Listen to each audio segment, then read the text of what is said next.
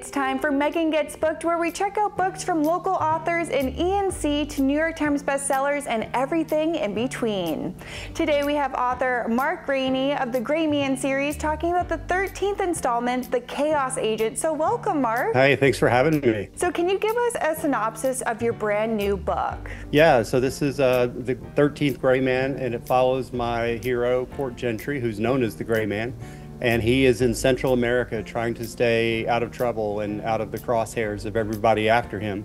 But soon he gets targeted by a very high tech entity that is also trying to assassinate the world's leaders of robotics and artificial intelligence. So it sets him on this uh, high speed chase around the world to try to unravel this mystery and uh, stop a revolutionary new artificial intelligence weapon before it goes online and changes the face of warfare. Wow, that is such a crazy storyline. Now, I know you do your own research in the field. What are some places that you visited for the Chaos Agent? Well, for this book, um, it was I was in went to Mexico and to Guatemala.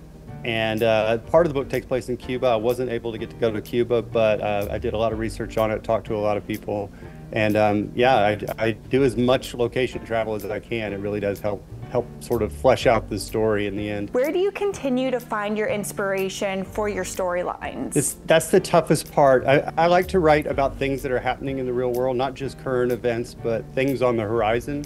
Like uh, everything in this book, there's nothing that's science fiction. It's all sort of uh, emerging technology or existing technology.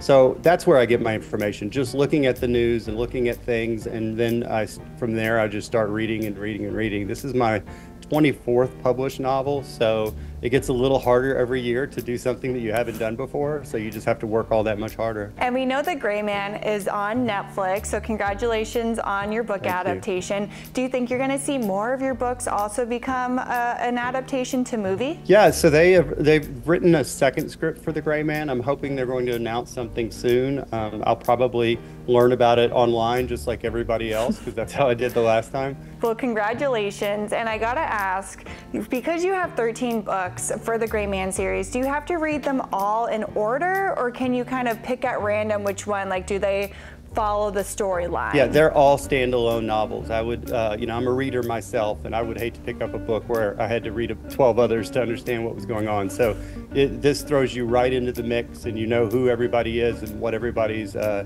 goals are in this. And um, you know, I think it's a very high octane action adventure wild ride, and I hope people will check it out. And what would you say to people who have never read your books to pick up yours and read your genre? Well, I, you know, the, the book is meant to entertain, and as I said, it's really fast paced. There's a lot of um, you know, there's not deep science in there, but there's a lot of interesting technology, and I think it, it really shows where the world is going. Um, it's looking out on the horizon a little bit, and I think that's a fun part of it. And I have a hero who is not just this tough guy. He's got a lot of vulnerabilities, a lot of flaws, and uh, I think he's kind of a fun character to get behind. Perfect. And if people want to know more about your book or where to purchase it, where can they go? Well, they can, they can purchase it anywhere. They can learn more about me on my website, which is my name, Mark Greaney, G R E A N E Y books.com. Perfect, Mark. Thank you so much for joining us today. Thank you for having me. And y'all make sure to come back to Meghan Gets Booked on Hello E and C every week to discover a new page to turn.